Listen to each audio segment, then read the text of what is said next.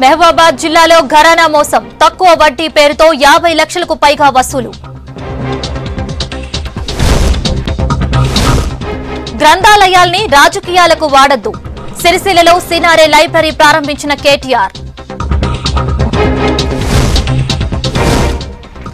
కరీంనగర్లో రూపాయికే రక్త మూత్ర పరీక్షలు. బస్తీ దవాఖానాలు ఏర్పాటు చేస్తున్న మున్సిపాలిటీ.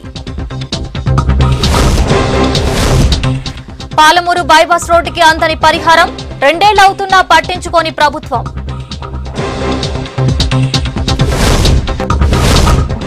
భద్రాద్రి జిల్లాలో సక్సెస్ కాని హరితహారం పుష్కర వనంలో ఎండిపోయిన మొక్కలు.